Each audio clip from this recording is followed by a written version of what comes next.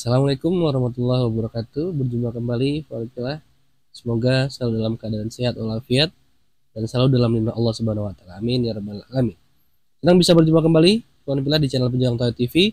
Channel yang insya Allah akan terus bersama-sama dengan Anda menyuarakan yang hak dan membentengi umat dari upaya-upaya pemurtatan di luar sana dan tentunya menjawab dan mengkonter segala tuduhan yang dilakukan oleh oknum yang tidak bertanggung jawab kepada Islam. Baik, ikan villa. Pada kesempatan kali ini kita akan kembali menyaksikan diskusi lintas agama. Bagaimana keseruan diskusinya? Langsung saja kita simak video berikut ini.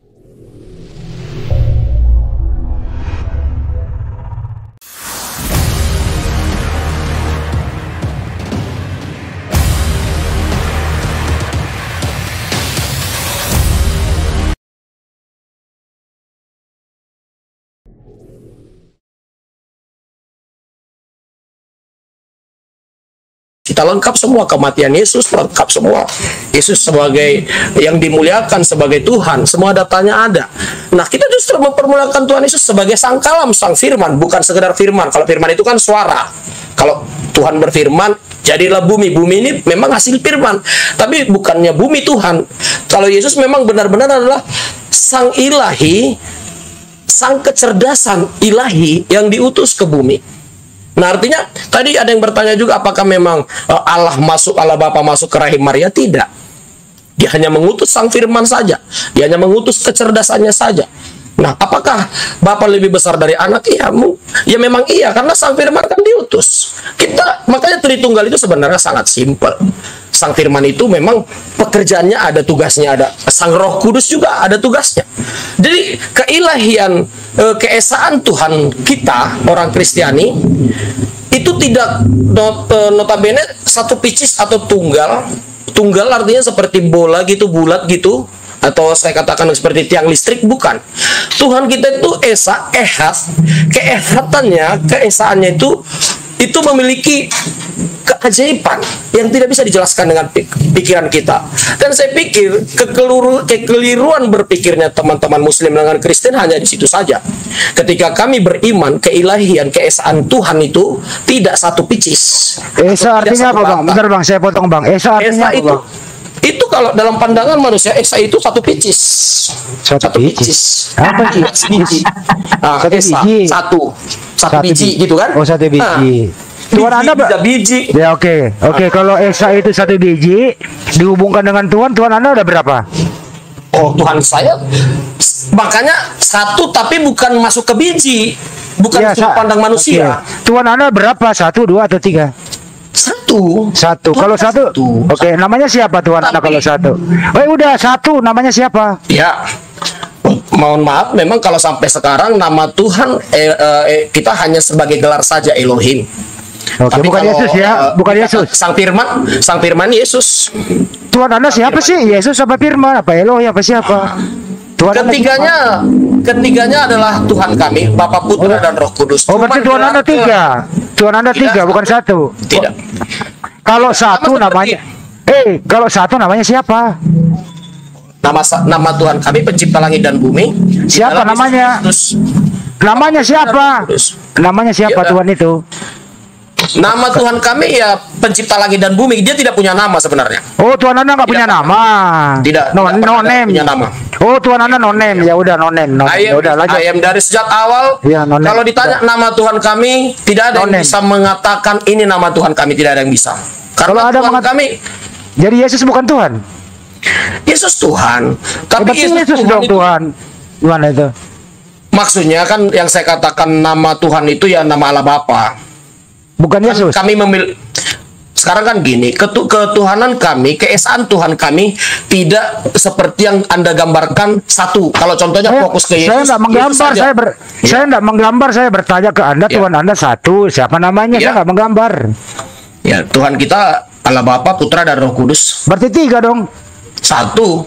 Makanya dikatakan dalam Matius 28 di semua kami dibaptis dalam satu nama. Bapak Siapa itu? Roh Kudus. Itu, Itu Bapak tiga. Roh Kudus. Tiga Tidak, itu, Bang.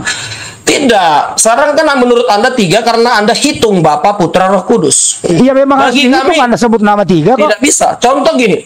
Anda siapa namanya di sini? Handi Slebes. Iya. Anda eh Anda bangga memiliki tangan, kaki dan kepala. Anda berapa? Berarti Saya ah, tangan, kaki dan kepala. Ada oh, berapa? ber- Iya, berarti Tuhan Anda sama dengan saya. Oh, bukan begitu biar Anda Ya, memahaminya. Ya bisa ambil analogi ke saya Tuhan Anda. Biar gampang saja. Ya lebih Artinya sulit gini, biar- jadinya, lebih sulit jadinya Tidak. kalau ke saya. Bukan seperti itu. Kalau Anda menggambarkan Tuhan itu satu pieces memang seperti bola, sus- sulit memang. Saya nggak ke sana, saya hanya bertanya, bro. Tuhan Anda berapa? Anda jawab satu, namanya siapa? Tuhan- Anda bingung. Ya. Ya memang enggak enggak saya enggak bingung. Ya namanya Dalam siapa? Bapak Putra dan Roh Kudus, Bapak Putra Roh Kudus. Tapi kalau Anda sebut nama langsung tidak ada nama Bapak. Tapi Oh, kalau tidak. untuk nama Sang Firman, Hmm. nama Sang Firman Tuhan Yesus. Oh, berarti nama Tuhan Anda namanya Yesus, gitu ya? Selesai. Bapak bukan Tidak. Tuhan, bapaknya bukan Tuhan. Bapak Bapak Tuhan, Bapak Putra Yesus. Roh Kudus. Bapak Tuhan, Yesus Tuhan, Roh Kudus Tuhan. Ada Ya, berapa Tuhan? Betul. Satu. Loh kok ah, satu? Bapak sama Karena Yesus? ketiganya Bapak sama Yesus ketiganya- sama? Eh, sebentar. Bapak sama Yesus Ya. sama atau beda? Bapak dengan Yesus Sama sama atau- hakikat tapi tapi berbeda. Berbeda. Kalau berbeda berarti dua dua oknum. Tidak, tidak satu oknum. Tetap satu oknum. Satu Jadi gini, oknum. Ya, dengerin, dengerin. Ya. Kalau satu oknum berarti yang ada di bumi Bapak juga. Yang ada di bumi Yesus Kristus dan Roh Kudus, rohnya Berarti bukan Bapak yang ada di bumi. Bapa di sorga. Berarti nggak satu oknum, berbisa dia.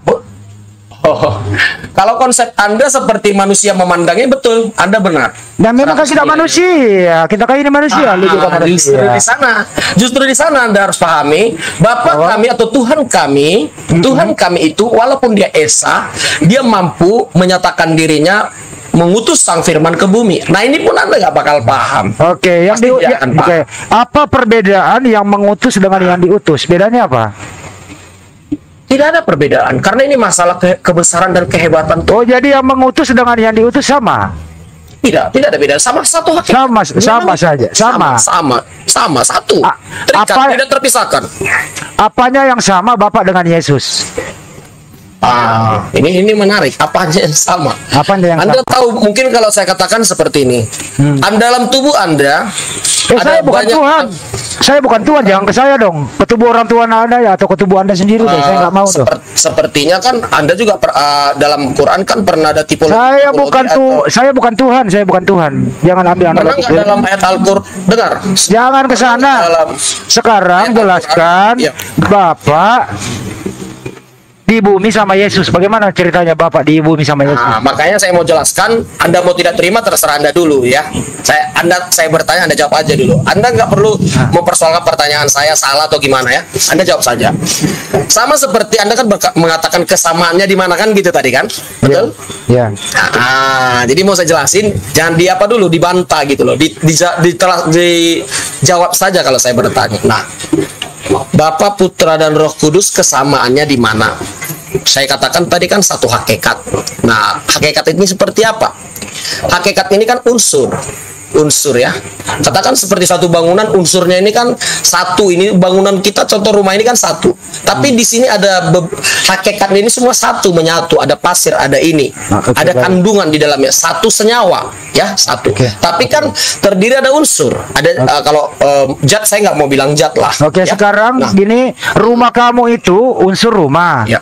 Coba terangkan di dalam rumahmu itu yang mana Bapak, yang mana Yesus, yang mana Roh Kudus dalam rumahmu coba bisa terangkan. nggak bisa. Itu hanya supaya anda memahami saja. Saya tidak bisa Artinya Anda nggak bisa menjelaskan analogi Anda sendiri, kabur dia analoginya. Tidak bisa karena kita memang sampai kapan pun tidak akan mampu menggambarkan Tuhan sampai kapan pun. Justru kalau anda meletakkan Tuhan satu picis seperti Kalau Yesus manusia, berkata satu-satunya Allah yang benar, Yesus salah apa benar tuh pernyataan Yesus? benar benar itu. Berarti benar. waktu Yesus mengatakan satu-satunya Allah yang benar, mengenal Yesus yang telah engkau utus, Yesus jujur apa tidak? Jujur. Yesus Dan memang tugas Oke. Waktu Yesus Ya. berkata begitu, Yesus sebagai Tuhan apa sebagai utusan? waktu Yesus mengatakan seperti itu memang tugasnya sebagai utusan. Utusan Tadi berarti kan- Yesus bu- berarti Yesus Iya. bukan Tuhan. Oh tidak, bukan bukan arti bukan. Orang sendiri- itu tidak tuh. Orang Yesus yang ngomong loh. Eh, dengar ya. Eh, Yesus, eh, Bapa, Nah. Bapa ya saya jelasin ya. Bapa sorgawi memiliki sang firman. Oke? Sang firman itu ada dalam dirinya. Oh, ambil lagi Oke. lagi banyak Wak. pusing saya nih banyak. Ah, saya jawab pelan-pelan ya.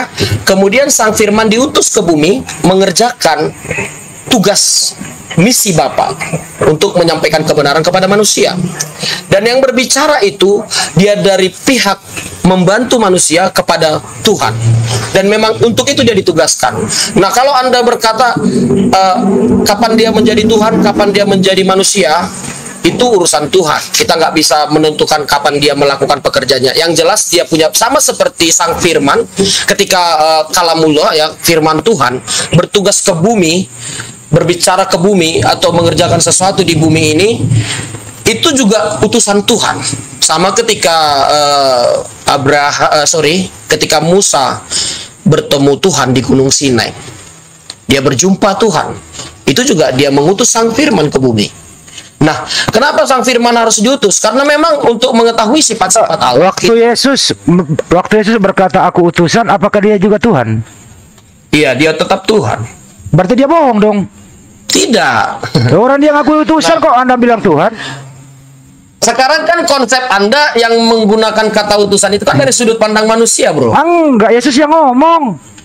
Memang iya. Nah, Bukan berarti Bapak mengutus sang firman lantas dia jadi menjadi manusia atau bukan Tuhan. Nggak jadi gitu ukurannya. Tolak ukurannya. Gini sekali lagi saya ulang ya. Ah, Waktu Yesus eh, berkata, ya. "Ak- Ah, ah.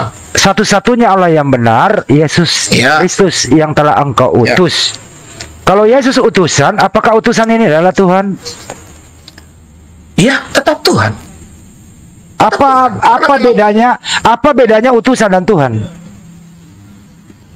Kalau untuk Bapak Putra Roh Kudus tidak ada bedanya, sama aja. Ber- Tapi kalau berarti- mungkin untuk para tunggu, tunggu saya jawab dulu agak panjang Iya. sedikit. Iya. Tapi kalau untuk para nabi mungkin Abraham tentu berbeda.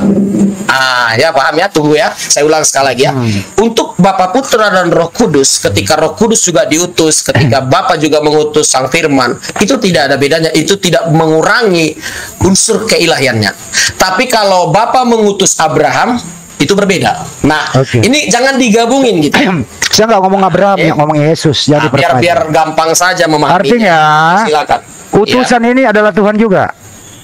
Iya, Tuhan juga Oke, untuk oke. kondisi Baik, Tuhan baik. Yesus Tuhan. Iya, siapa yang mengutus Tuhan? Bapak? Berarti berarti Tuhan mengutus Tuhan. Betul. Iya, Ada berapa Tuhan? satu. Tuhan mengutus Tuhan kok Tuhan satu. Anda kan menggunakan logika. Terus kita apa pakai apa mimpi? Mimpi gitu. Oh, dengar. Ah. Kalau Anda memakai logika, pakailah logika dari sudut pandang Tuhan. Kalau Tuhan itu kan maha besar. Artinya seperti ini, maaf ya. Maaf. Kalau Yesus Maaf, berkata, kalau Yesus berkata Bapak lebih besar daripada aku gimana itu? memang iya, memang Bapak lebih besar dari Yesus. Nah, yang mana yang Tuhan? Yesus atau Bapak? Tetap semuanya Tuhan. Berarti berarti yang besar Tuhan, yang kecil Tuhan. Betul. Ada Tuhan ada Tuhan besar, ada Tuhan kecil. bukan karena ada Tuhan memang bagian daripada diri Tuhan itu ada tugasnya masing-masing Nggak gini Ada bro. mengutus Kata yang Yes, kata Yesus, Bapak lebih besar daripada aku. karena Jadi dia utus iya ada Tuhan besar, ada Tuhan kecil. Bukan ada Tuhan besar Tuhan ada kecil tapi ketika dia diutus memang dia lebih kecil daripada yang mengutus Iya artinya tapi yang kecil ini juga adalah Tuhan. tidak karena satu hakikat jadi gini satu hakikat tidak perlu ditanya man, eh, jadi tiga ya jadi dua Tuhan. Gimana ngejelasinnya? Seperti anda diri anda sendiri Ular kalau anda punya kemampuan anda punya kemampuan Anda bisa mengutus tangan Anda pergi 5 km kalau Anda punya kemampuan dari sudut pandang ilahi ya tapi sayangnya Anda terbatas ruang dan waktu. Kalau Tuhan bisa di mengutus- situ. Jadi Tuhan mengutus sebagian dirinya. bisa dari dirinya. Dia mengutus dari Oke, dirinya. paham paham paham sekarang. Ah, paham. Artinya gitu. Ya. Tuhan mengutus Ya. sebagian dirinya, jadi dia mengutus memperkecil dirinya di bumi, tapi dia Tuhan itu sendiri. Kan Iya, gitu. betul. Tapi Iya, iya, mengutus diri. Tuhan memperkecil dirinya sendiri di muka bumi. Artinya bukan memperkecil. Anda memperkecil itu seperti menyudutkan, bukan memperkecil. Tuhan itu tidak ada bagian diri dirinya itu jadi diperkecil ketika Nah. melakukan tugasnya. Nah Yesus Contoh berkata, ya, Yesus, eh maaf, bro, maaf ya. Yesus berkata, Bapak Betul. lebih besar daripada aku. Ada yang besar, ada yang kecil. Betul. Iya. Artinya Bapak memperkecil dirinya menjadi manusia, tapi manusia ini adalah Tuhan kecil. Tuhan besar Itu ada di bahasa- surga. Itu kan bahasa Anda. Ya, Itu itu bahasa siapa, memperkecil, Is? memperkecil itu kan bahasa Anda. Anda kan mengasumsikan memperkecil. Tapi yang jelasnya Tuhan mengutus bagian dari dirinya bukan berarti harus harus diperkecil. Begitu. Kan ada yang besar, ada yang kecil, Bro. Tuh, Bapak lebih besar daripada aku. Iya, memang iya. Bapak Berarti ada Tuhan besar, berarti ada Tuhan besar, ada Tuhan kecil. Tidak. Bang Handi. Bukan. Iya, iya. Tetap satu. Coba coba, lanjut, Tetap Bang. Iya, Nah, jangan- tunggu, tunggu. jangan- Bang, Sabar, sabar, sabar. Jangan mau diseret Ya. ke ajaran eh, Romawi Yunani, Bang. Jadi gini, saudara, Anda belepotan ketika berbicara konsep Tuhan. Kenapa? Karena Anda me- sabar, Anda mengawinkan ajaran para nabi dengan ajaran Romawi. Sehingga Anda belepotan. Satu Tuhan, Mana tapi yang Anda jelaskan tiga Tuhan. Dengarkan dulu, sabar, sabar. Oke, silakan. Ketika para nabi datang kepada Bani Israel, Bani Israel itu tak ada yang taat kepada mereka. Sehingga Tuhan mengutuk. Yeremia 9 nomor 11 Aku akan membuat Yerusalem menjadi timbunan puing.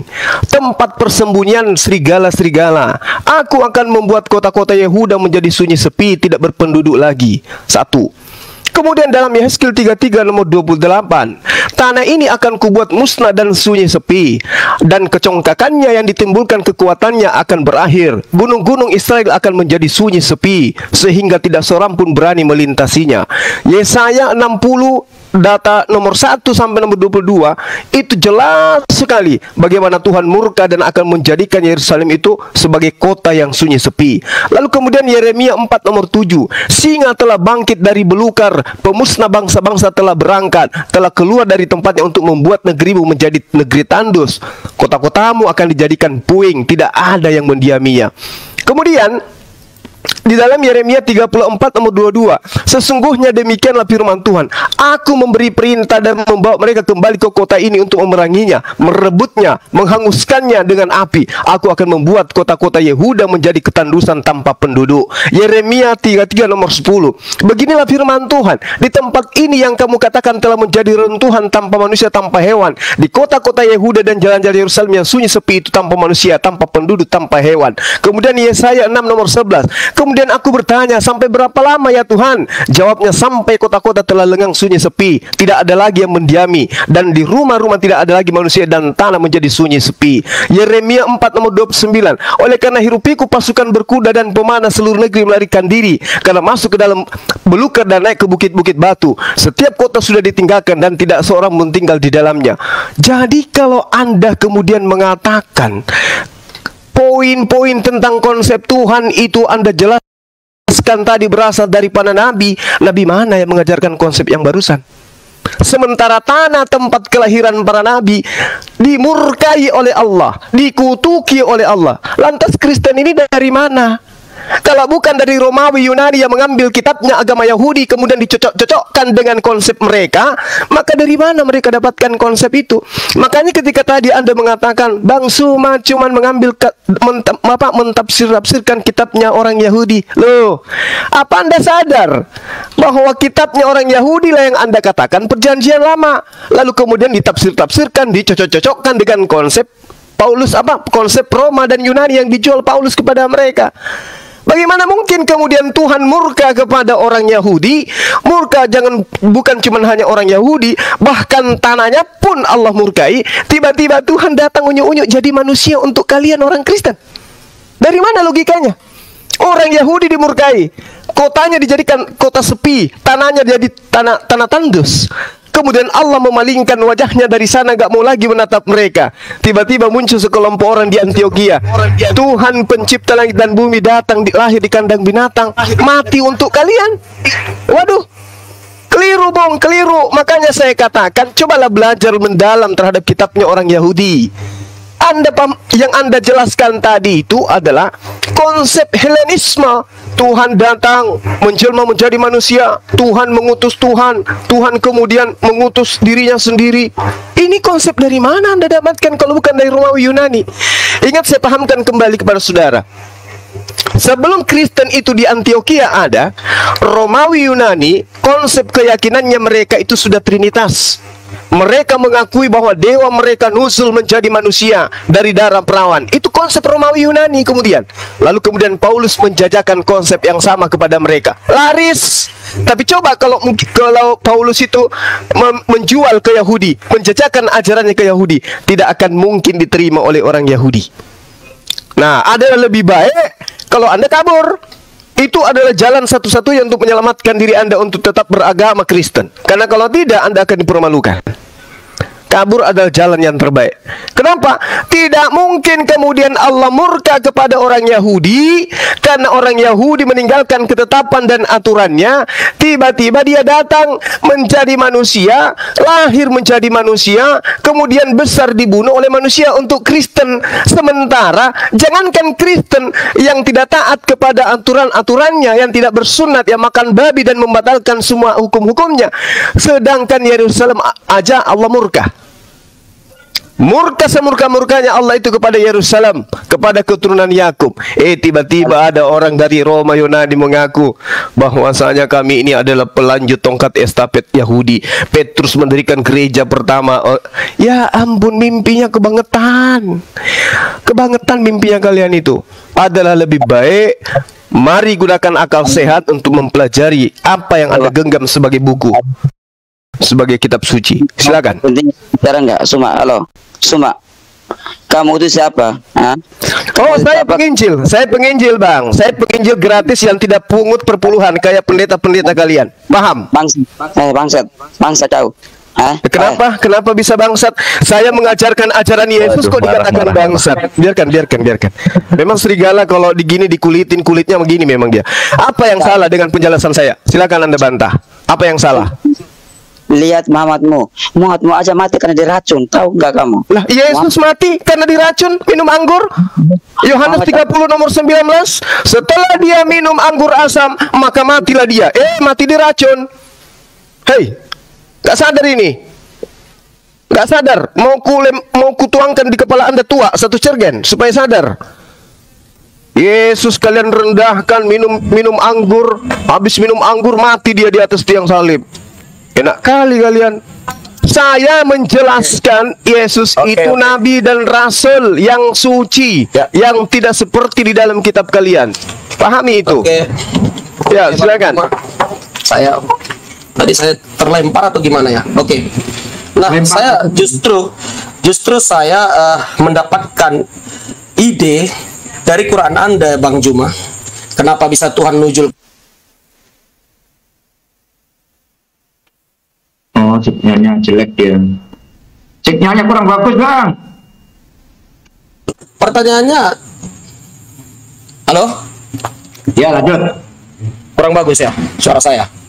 Udah, udah ada. Justru saya juga uh, mendapati hal yang sama dalam dalam ayat Quran surah 7 143 di mana ketika Musa melihat Tuhan. Allah ya. Oh sorry, bukan Tuhan. Allah di Quran. Nah, Anda justru kalau mengatakan Tuhan tidak mungkin ketika Tuhan muncul, siapa yang muncul? Coba. Coba Anda pakai logika dulu, Bang Juma ya. Anda mengatakan itu dari Yunani, dari Romawi. Tuhan itu nujul menampakkan diri kok Anda tidak terima.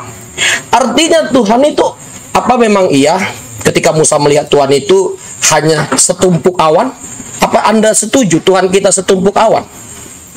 Atau Anda setuju Tuhan itu hanya sebesar mikrofon yang berbicara ketika berbicara dengan Musa pada surah 7 tersebut. Nah, kalau Anda mencoba menafsirkan siapa Tuhan dengan pola pikir Anda, berarti Tuhan itu satu picis, tidak pernah nujul, tidak pernah terlihat. Justru Anda yang keliru, bro. Kalau Anda menggambarkan, menganalogikan Tuhan itu hanya uh, satu gitu tak, tan, tanpa mampu eksis di tempat-tempat lain. Padahal dia mampu menyatakannya eksis di tempat lain sekalipun dia berada di tempat yang berbeda. Itu justru Anda merendahkan. Justru Anda sebagai Quran aja sendiri tidak merendahkan Tuhan sebenarnya. Karena mereka itu ya saya kalau saya katakan maaf uh, ayat Al-Quran itu adalah hafalan-hafalan zaman itu abad ke-6 tentang Tuhan pernah menujul kepada Musa. Itu hafalan itu sudah ada. Dan menjadi Quran setelah mu, uh, setelah Muhammad meninggal kemudian eh, Umar dan Zaid mengumpulkan semua hafalan-hafalan itu dibantu Zaid dan kawan-kawan. Jadilah ayat-ayat Al-Qur'an. Dari hafalan-hafalan cuplikan-cuplikan ya kalau di chat saya katakan itu juga mantra-mantra. Karena kebanyakan juga memang ya maaf ya teman-teman muslim ya kebanyakan sih mempercayai tahayul. Ayat Quran itu bisa mendatangkan rezeki kalau dibuat firman Allah itu dalam bentuk kaligrafi. Itu pemahaman-pemahaman justru keliru bagaimana mungkin satu uh, wahyu Allah atau wahyu Tuhan ketika dibuat dalam uh, Arabik gitu sehingga bisa menjadi mengusir setan atau bisa jadi mendatangkan rezeki justru. Nah, jadi kalau saya bukan kita kita membedah lah ya. Sebenarnya esensi keberadaan Tuhan kita itu seperti apa? Dan Quran menggambarkan sendiri Tuhan itu mampu nujul gitu. Tuhan itu memang esa, betul. Tuhan itu memang tunggal, satu iya. Tapi kalau dalam pikiran kita satu itu Daripada dijual bola. bro, bro, ntar saya potong. Daripada dijadiin Ah, ya. patung gimana? Oh itu itu lain Itu apa? konsep nanti kita bahas yang konsep lain. gimana? Dia Kita bahas yang itu topiknya. Ya kau bawa, bawa ke situ jadi saya hajar. Enggak tunggu. Tuhanmu eh Tuhanmu itu dijadiin patung bro gimana itu? Bener apa enggak? Itu jangan kita gini, jangan lompat-lompat. Jadi Ya, kau yang lompat makanya saya tada. Tuntas dulu tadi tentang yang Bang Juma katakan. Ya udah jangan ke mana-mana makanya kalau Kita ngomong. dari Romawi tentang bahwasannya Tuhan itu mampu nujul mengutus dirinya sendiri ke bumi. Justru Quran itu mengklarifikasi itu benar-benar terjadi kepada Musa. Kecuali kepada Muhammad memang tidak pernah Allah nujul ya. Dan itu memang ya agak menyedihkan sih sebenarnya tapi tidak masalah karena itu iman Anda. Saya menghargai Anda juga. Ah, jadi nah intinya iman kita itu boleh kita beriman, tapi tetap kita harus gunakan analogi uh, berpikir kita juga seperti itu. Nah, jadi kalau Anda menganalogikan Tuhan itu satu, satu tok gitu, tak bisa ngapa-ngapain, ah, itu Poinnya apa? Poinnya apa? Poinnya bahwasannya Sang Firman adalah dari Bapa keluar dari diri Bapa sendiri yaitu Yesus Kristus yang adalah raja Tuhan dan juru selamat menjadi hakim yang adil memiliki kebesaran dan di bumi dan di sorga dan Muhammad ketika sunnahnya juga mengatakan ingatlah kepada Isa Al-Masih saya justru meluruskan Quran hadis-hadis Anda Coba baca, coba baca datamu bisa lu baca nggak? Kalau mau meluruskan. coba silakan dibaca di situ Ya Apa kau yang baca dong. Kau yang yang bawa Ah, tadi. silakan Bang baca. Data yang mana itu? Ya silakan baca Pak. Lanjut.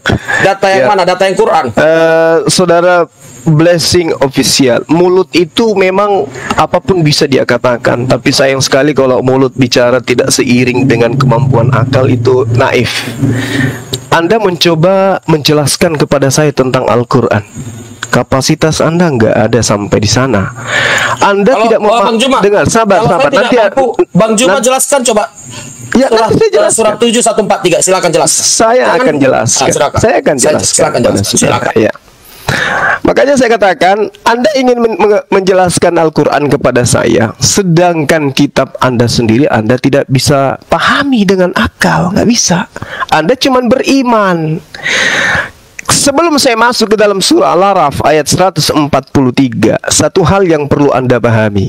Di dalam Al-Qur'an Asyura ayat 51 Allah Subhanahu wa taala menerangkan Bismillahirrahmanirrahim Wa ma kana li basharin ayyukallimahullahu illa wahya au min wara hijaban au yursila rasulan Tidaklah patut bagi seorang manusia bahwa Allah Tuhan pencipta langit dan bumi akan berbicara kepadanya langsung kecuali dengan perantaraan wahyu atau dari belakang tabir atau dengan mengutus malaikat itu seirama dengan kitabnya orang Yahudi. Bilangan 12 nomor 6 lalu berfirmanlah Tuhan dengarkanlah firmanku ini. Jika di antara kamu ada seorang nabi maka aku Tuhan menyatakan diriku kepadanya dalam penglihatan nabi tersebut.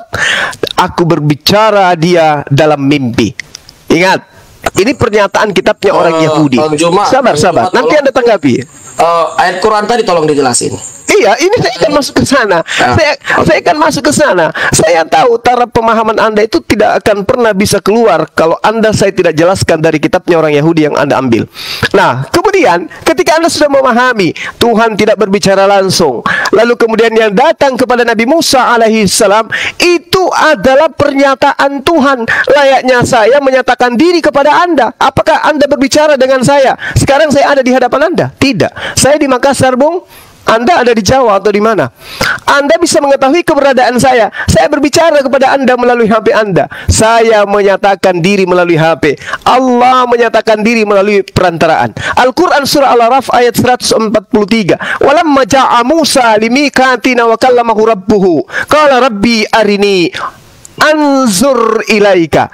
Kata kata Musa kepada pernyataan Allah yang dia lihat, "Ya Rob, aku percaya engkau itu ada. Aku yakin engkau itu ada, engkau itu wujud." Tapi ya Rob, izinkan aku untuk melihat dirimu. Apa kata Allah kemudian?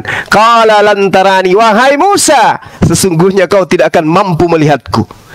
Ini sudah ini sudah bercakap-cakap nih. Tuhan sudah menyatakan diri kepada Nabi Musa. Musa minta, ya Rob, aku ingin melihatmu. Apa kata Allah? Lantarani, kamu tidak akan mampu melihatku, wahai Musa.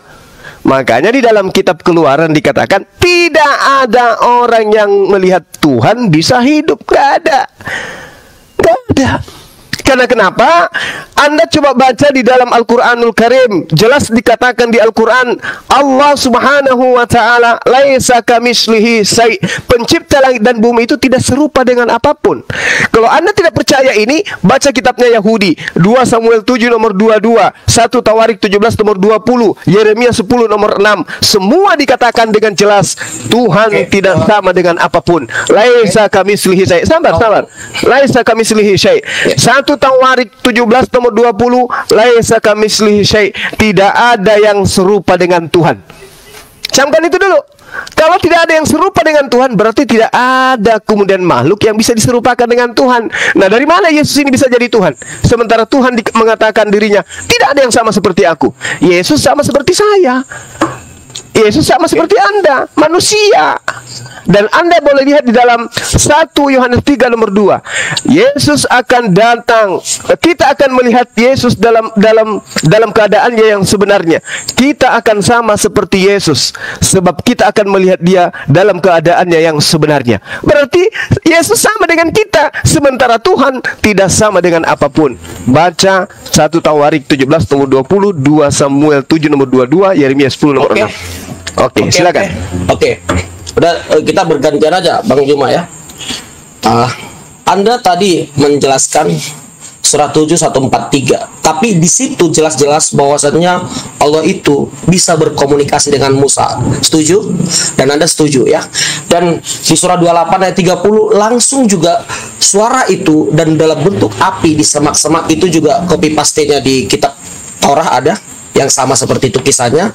Dalam surah 28 30 itu langsung Tuhan berbicara juga dengan uh, Musa langsung. Ya Tuhanku langsung ada komunikasi dua arah di sana.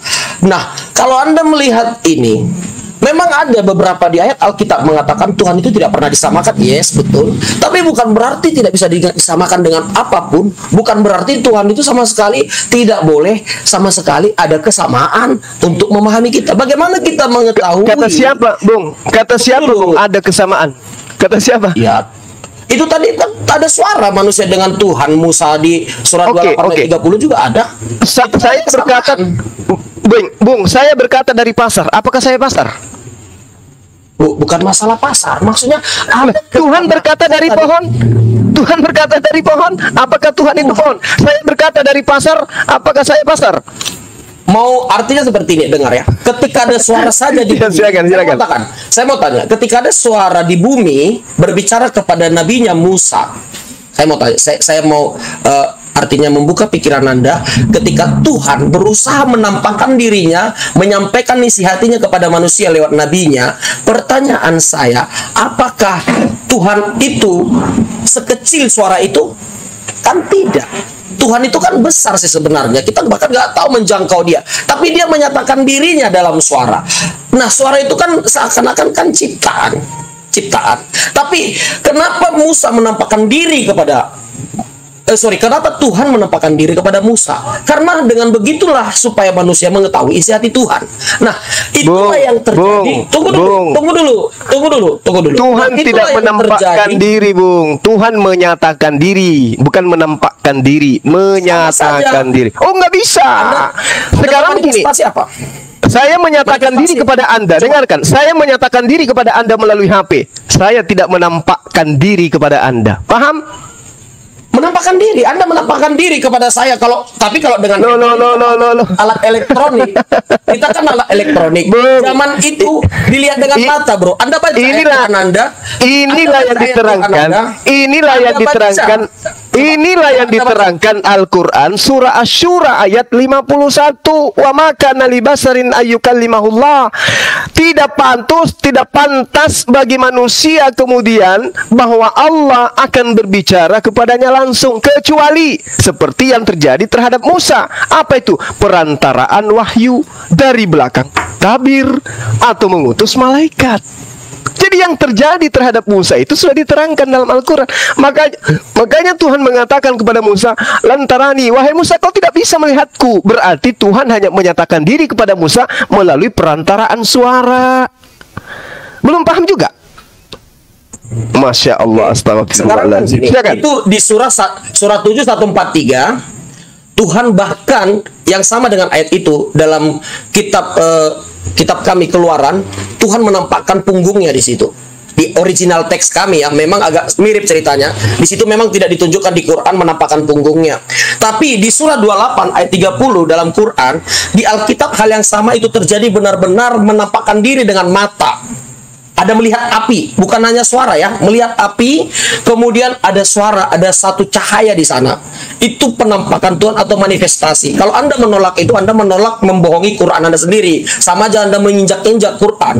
Kalau Anda mengatakan Tuhan tidak mampu menyatakan dirinya eksis kepada nabinya, Anda sama dengan membohongi diri Anda dan terutama menginjak-injak Quran Anda sendiri. Saya sudah Itulah- mengatakan Tuhan menyatakan diri, Bung. Tuhan sudah menyatakan diri kepada Nabi bahkan Musa. menampakkan diri. Quran Anda mengatakan lihat ada api, ada mata di sana. Lihat ada api. Sia- siapa yang dilihat di sana? Siapa yang dilihat? Ya itu tadi satu penampakan kewujud kewujudan ilahi muncul dalam Jadi bentuk Tuhan- cahaya dan api. Jadi maksud Anda itu Tuhan itu bentuknya seperti api gitu. Nah justru itu makanya kita masuk kepada Mesias yang dijanjikan Al-Masih yang Oh, datang. itu Tuhan itu bukan makanya manusia. Makanya tadi saya katakan kepada saudara bahwa saya yang Anda ajarkan ini ajaran Romawi Yunani. Keluaran Anda, 33, saya, saya keluaran mengajarkan Quran. Dengarkan, Saya mengajarkan Bung. Quran Anda. Bung. Saya mengajarkan Quran Anda. nenekmu kiper. Keluaran 33 nomor 20 firmannya engkau tidak tahan memandang wajahku sebab tidak ada orang yang memandang aku dapat hidup. Iya benar. Ini tapi Ye- Yesus Yesus Ya. kebalik kan?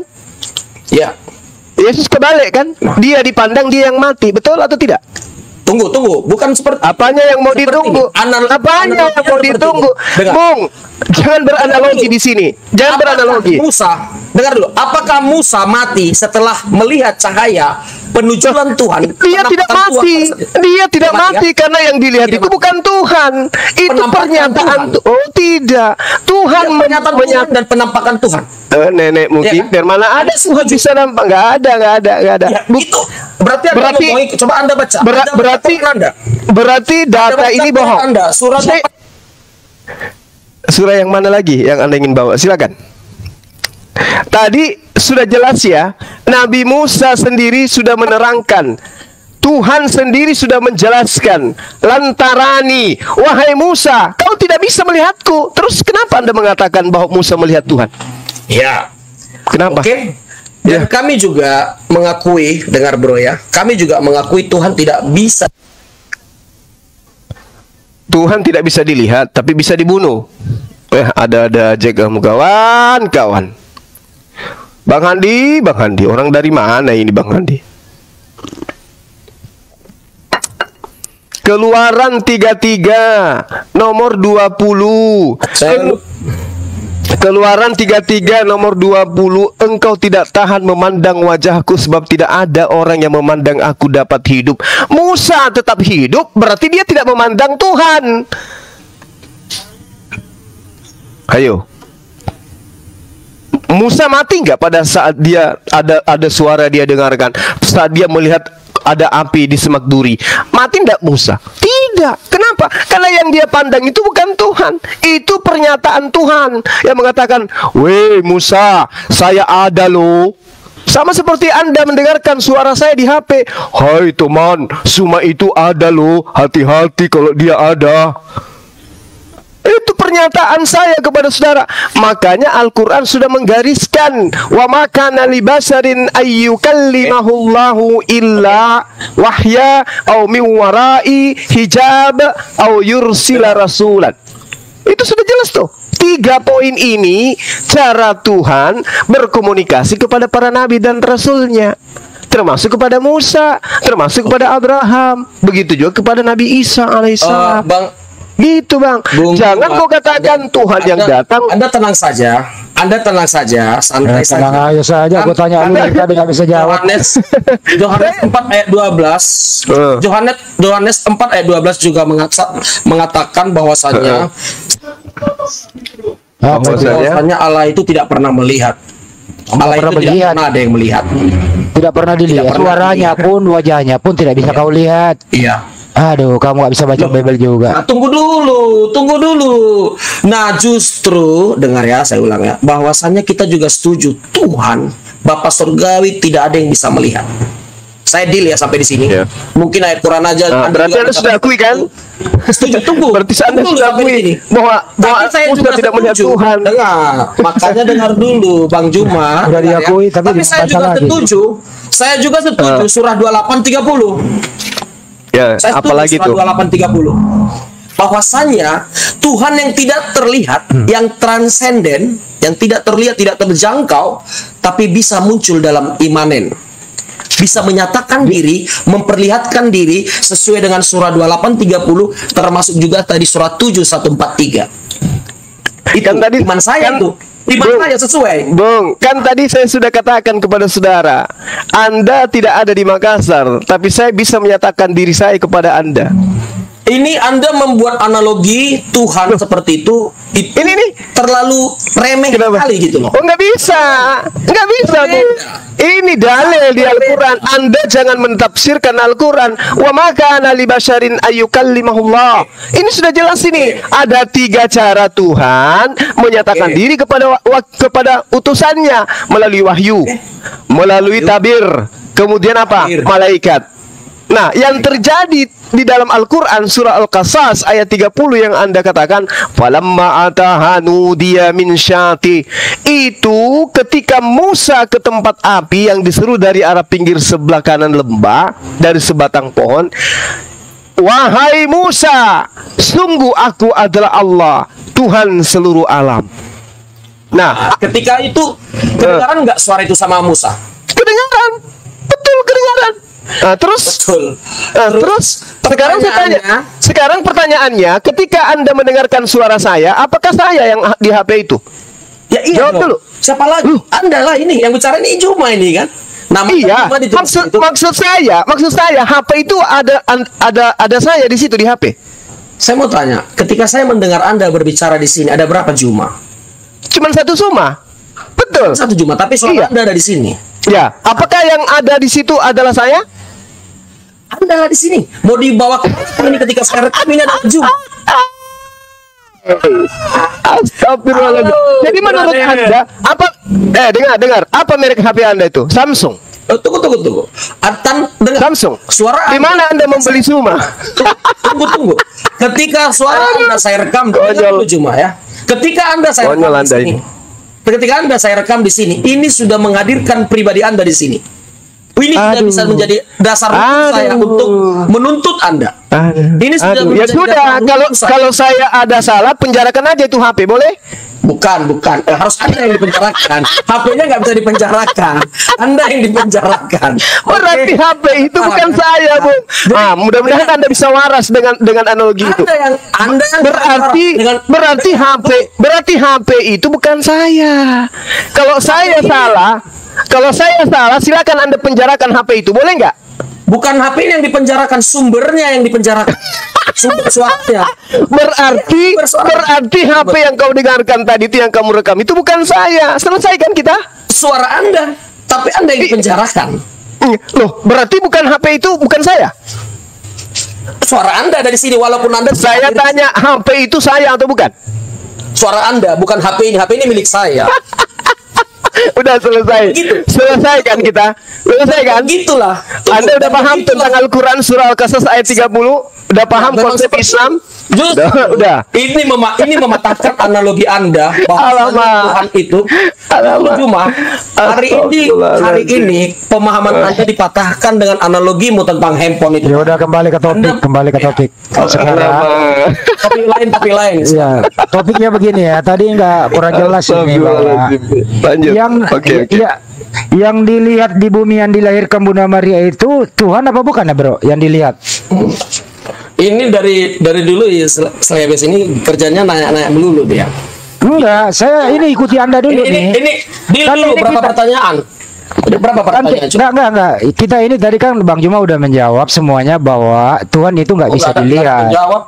Tuhan Nggak ada- itu sang penj dengerin dulu lah. Gak, gak Cuma dari tadi khotbah tentang Alkitab tapi Iya. cara menjelaskan salah semua gitu. Ya udah kalau salah begini saja.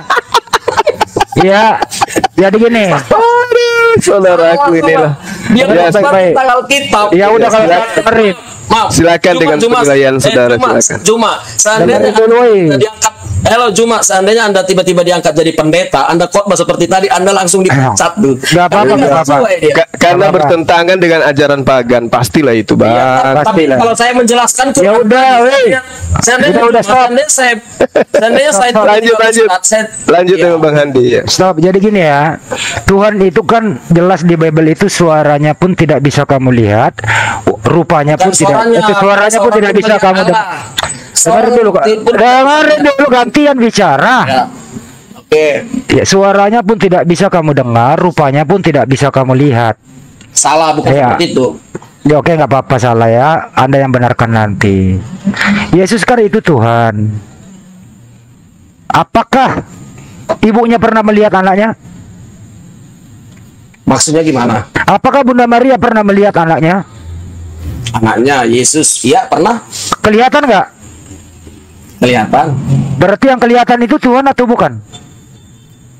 Yang kelihatan itu secara fisikly manusia, Berarti bukan Tuhan. tapi dalam dirinya ada unsur ketuhanan. Yang mana unsur Maria ke- belum tahu. yang mana unsur ketuhanan dalam diri Yesus? Yang mana? Uh, sama seperti yang di Quran Anda ketika Yang mana jangan kul Quran? Yang mana dalam diri Yesus? Yang mana? nggak bisa dijelaskan. Nanti saya tanya ketika tadi Kalau Anda nggak bisa jelaskan, kenapa Anda berpendapat? Loh, saya mau tanya, yang mana Tuhan? Eh, jangan tanya. Jangan tanya. Kalau Anda nggak bisa menjelaskan, Pertanyaan kenapa Anda seperti itu. kalau Anda tidak bisa menjelaskan, kenapa Anda berpendapat? Yang mana Tuhan ketika berbicara kepada eh, kepada Musa? Gimana sih yang mana balik-balik? Eh, Ketika berbicara dengan udah dijelaskan tadi ya Bang Juma oke. itu. Oke. Tuhan itu menurut Bible Anda itu rupanya tidak bisa kau lihat, suaranya pun tidak bisa kau yeah. dengar. Sedangkan yang lu Tuhan kan ini itu. yang salah salah. Sedang iya oh, yang, yang di, eh, Oh, tunggu tunggu. Sebelum Anda melanjutkan saya bacakan sejelas-jelasnya ya. Begini yeah, ayatnya. Satu ya. Yohanes saya bacakan ya. Hmm. Satu Yohanes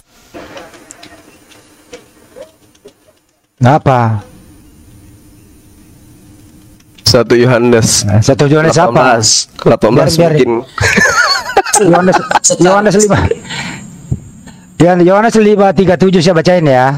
Satu Yohanes. Ya, dengerin dulu saya yang ngomong. Yohanes 5:37.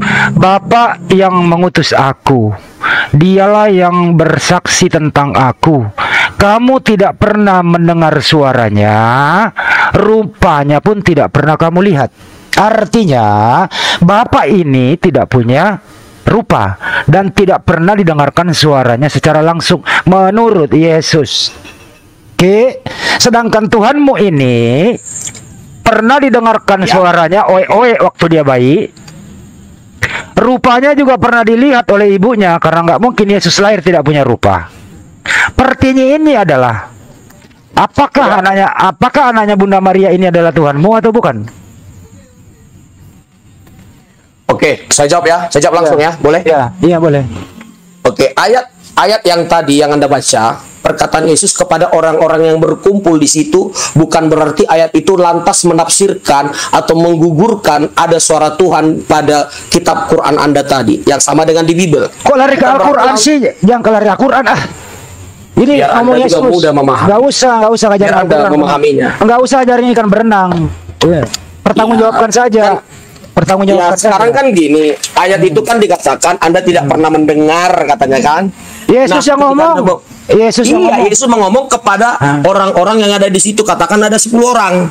Siapa Dan di sana nggak ada nggak ada 10 orang di situ. Kamu yang nama-nambah. Ah, Atau katakan 50 orang.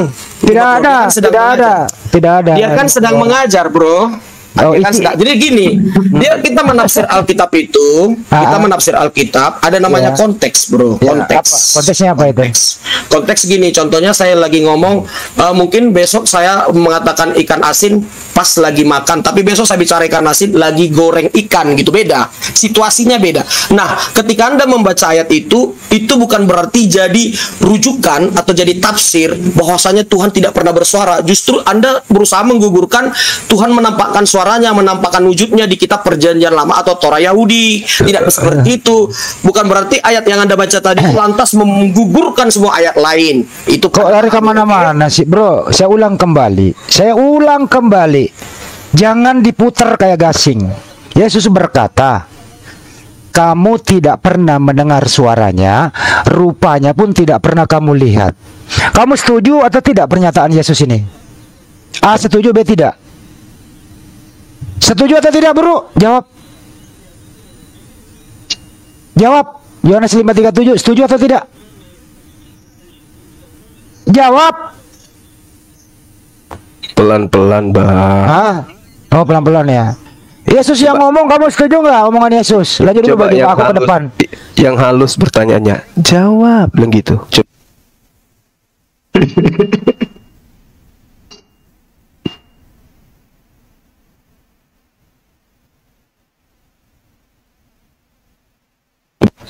Bang Handi.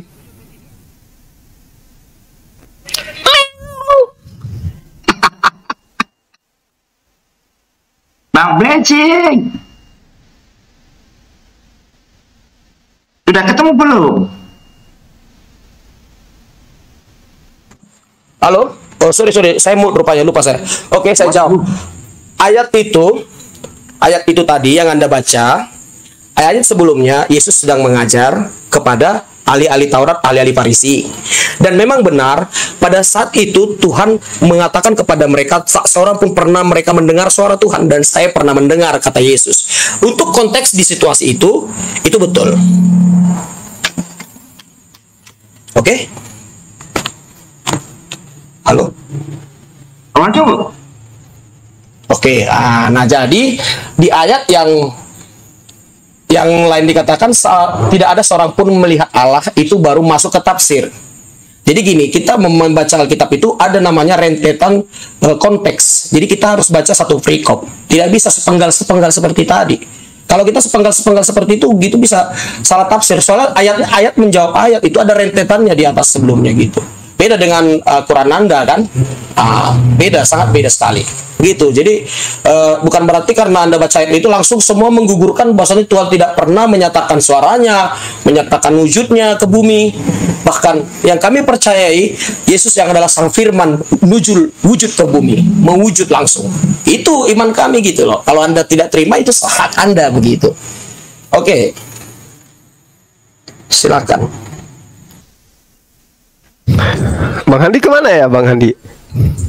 Dinda Kores? Saya ada. Ya, lanjut, lanjut. Ditanggapi teman kita ini, biar kita arahkan pelan-pelan. Silakan. Oke. Kalau memang Tuhan itu turun langsung ke bumi, terus kenapa Stefanus kok tafsirannya ini sesat ya? Di kisah para apostolos 7 nomor 38 sama nomor 51. Silakan dibaca. Bentar, bentar. Lu ikut dulu balik.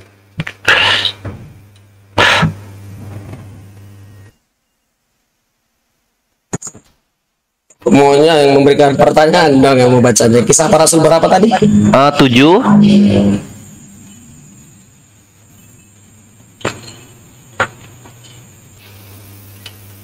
Nomor 38 sama 51. Kalau mau dibaca dari Matius sampai ke Wahyu dulu boleh, gua tungguin.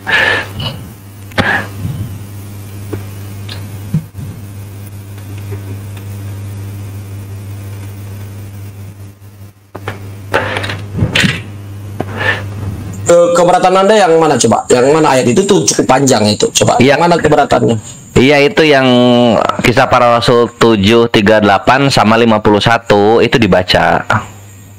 Iya, itu Stefanus.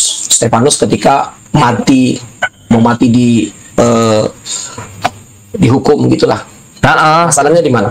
masalahnya ini kan Musa ini harusnya ngobrolnya sama Tuhan langsung. Kok di sini ngobrolnya sama malaikat di sini? Oh, bukan begitu mungkin pertanyaannya. Mungkin Coba dibaca. Di sini. Hehehehehe. Hehehehe. Hehehe.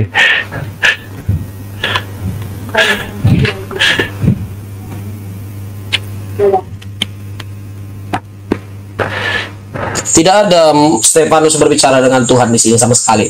Musa. Stefanus berdoa. Stefanus Musa berdoa. inilah yang menjadi Musa. pengantara dalam sidang jemaah di padang gurun di antara malaikat yang berfirman kepadanya di gunung Sinai. Lo lo lo lo lo lo. Kisah para Rasul berapa itu? Tunggu tunggu. Kisah para Rasul tadi. Lo lo lo lo lo. Coba detail ayatnya. Coba detail ayatnya. Coba detail ayatnya. Coba. Kisah para apostolos 7 nomor 38 738. Oke, entar. dan 51. Katanya Tuhan turun langsung, nuzul langsung. Ini kok malaikat di sini?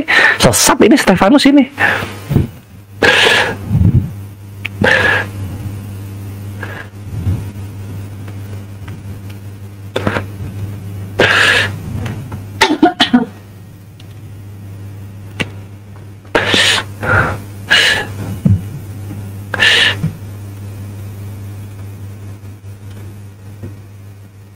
Di sini tidak ada masalah karena Musa di, di kitab eh, Torah Yahudi di ayat Quran memang cuma ada beberapa ayat ya Quran eh, surah 28 sama surah 7 tadi ya tapi kalau Saya di kembali. Alkitab ada banyak memang Saya kembali. tunggu tunggu Bagus.